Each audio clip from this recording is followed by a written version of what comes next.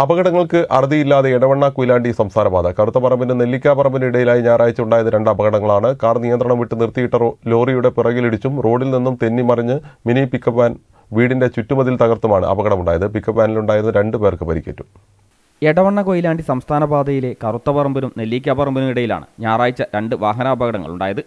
കറുത്തപറമ്പിൽ നിർത്തിയിട്ട ലോറിക്ക് പിറകിൽ നിയന്ത്രണം വിട്ട കാറിടിച്ചാണ് അപകടമുണ്ടായത്. കാറിന്റെ മുൻവശം പൂർണമായും തകർന്നെങ്കിലും ആർക്കും പരിക്കില്ല. ഞായറാഴ്ച പുലർച്ചെയായിരുന്നു അപകടം.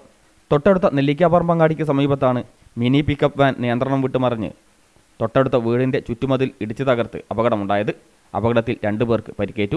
രണ്ടുപേരെയും മുഖം K M C T medical കോളേജിൽ പ്രവേശിപ്പിച്ചു. ഒരാൾക്ക് തലയ്ക്കും മറ്റൊരാൾക്ക് ഊരയ്ക്കുമാണ് പരിക്കേറ്റത്. ഞായറാഴ്ച രാവിലെ ഒൻപതേ മുക്കാലോടെയായിരുന്നു അപകടം. കഴിഞ്ഞ രണ്ട് ദിവസം മുമ്പ് നെല്ലിക്കാപ്പറമ്പിൽ കാർ നിയന്ത്രണം വിട്ട് തെരുവുവിളക്കിനായി സ്ഥാപിച്ച പോസ്റ്റിലിടിച്ച് അപകടമുണ്ടായിരുന്നു. ശനിയാഴ്ച രാത്രിയും അപകടമുണ്ടായതായും നാട്ടുകാർ പറയുന്നു. ഇതിലും ആർക്കും പരിക്കില്ല. പ്രദേശത്ത് അപകടങ്ങൾ തുടർക്കഥയായതോടെ കൊയിലാണ്ടി ഇടവണ്ണ സംസ്ഥാന പാതയുടെ നവീകരണം സംബന്ധിച്ച് പരിശോധന നടത്തണമെന്ന് നെല്ലിക്കാപറമ്പ് സന്നദ്ധ സേനാ പ്രവർത്തകർ പറഞ്ഞു. ഇവിടെ നിലവിൽ ഈ വർക്ക് കഴിഞ്ഞതിന് ശേഷം ഈ റോഡ് പണി കഴിഞ്ഞതിന് ശേഷം നിരന്തരം അപകടം വർദ്ധിച്ചു വരികയാണ്. ഈ മഴ അങ്ങോട്ട് ആയതിന് ശേഷം ബ്രേക്ക് ചവിട്ടുമ്പോൾ പെട്ടെന്ന് സ്ലിപ്പായി പുറത്തേക്ക് പോകുന്ന ഒരു സിറ്റുവേഷനാണ് ഇപ്പോൾ ഉണ്ടായിക്കൊണ്ടിരിക്കുന്നത്.